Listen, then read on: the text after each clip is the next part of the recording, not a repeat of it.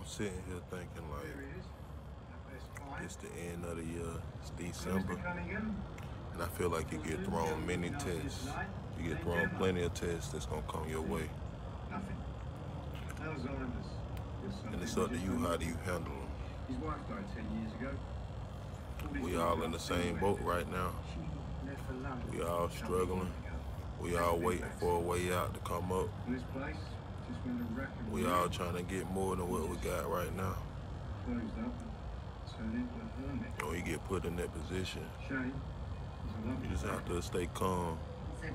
You have to tell yourself you ain't the only one that's in a bad position or struggling, and that everything is gonna be all right.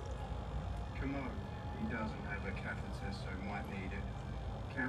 Everything gonna get better, your workstation is through here.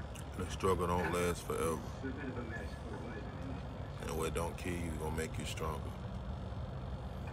Cal, monitor, television. It's like when you can't see things, then you expect it to be like, I don't know, you want more support because with everything that's going on right now, and you can't see like the virus and the pandemic exactly, you can see the results from it. You see so many people dying, but with you not being able to like see it in your face, a lot of people still been forced to have to go out.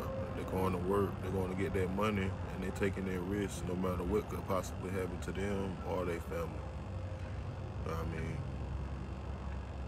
See, I got, I'm living with uh, two elderly people that I love.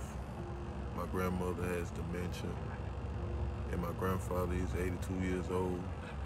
He has bad liver problems, things like that, and respiratory issues. So me being uh, what I do is I'm a, a, a bodyguard and private security. So me working in security as well as working in the food industry as a cook, I've had to stop doing both of those when the pandemic hit. So since stopped doing that, it's it's like everything was cool at first. We had a little support at first, but not much. But now that it's like at the end of the year, we still have nothing to show for it. Government hasn't assisted anybody anymore. And it puts you in a position where it's like, hey, what do I do? Do I continue to stay in this position and struggle? But to know that it's for the betterment of the family and that everybody's safe another day knowing it feel make you feel better knowing that every day that they safe it's like that you're not out there risking it because you could be but on the other hand it make you feel like hey i'm missing this money you know what i mean it ain't no guarantee that the person that gets sick or you will get sick or bring nothing back home that'll potentially get them sick and right now, ain't no dollars coming in. You're starting to struggle. You're starting to feel like it's starting to weigh on you a little bit. You starting to stress a little bit and worry and uh, think about different ways of accumulating funds when there's no way without potentially putting yourself in hazard. So it's like when it dwindle down to it, it's tough. For right now, I'm gonna try to hold on a little longer and not have to go out. You know what I mean?